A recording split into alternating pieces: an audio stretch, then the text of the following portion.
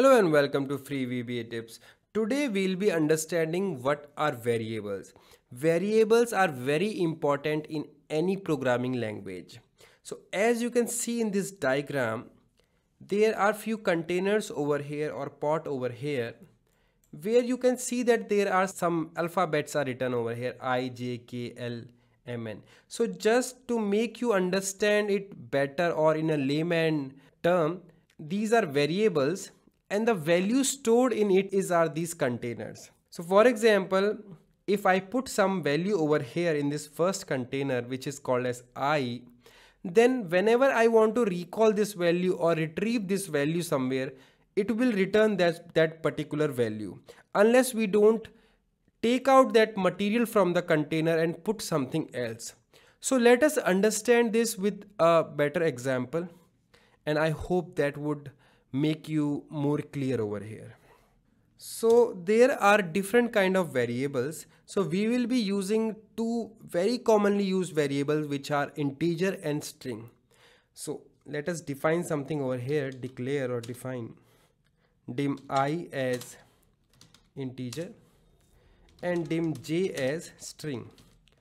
So what we are telling the programming language over here that we are declaring i as an integer so we can store integer values like 1 2 3 4 5 the numbers in in i and we can store string in j. So it will it can have uh, alphanumeric also or it can have a name or anything like that. So let us play with these variables over here. Let me define something like i equal to 5 and let us put value for j. So whenever we are defining or we are assigning a string to a variable, we always have to use these quotes over here. So let's say Deepak.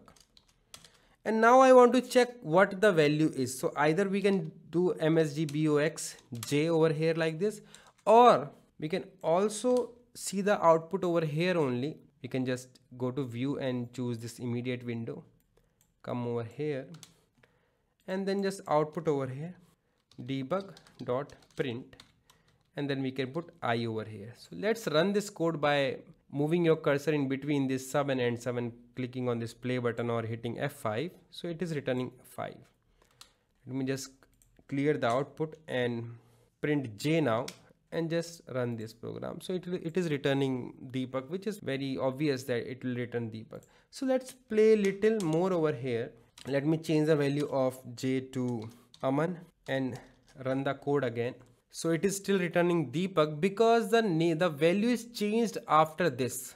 So we can if we put the debug.print j just after aman then it should return. So aman is coming over here. Similarly we ha have different kind of uh, variables like we have boolean as boolean which will return true and false. So you can just go through types of variable. So whenever you are confused about variable or you have a question about variable you can always refer to this particular diagram. This will make it very simple for you to understand variable that how the variables work. How the values are stored inside a variable like a container and then you can return that value. I hope this will help you understand the variables in any programming language.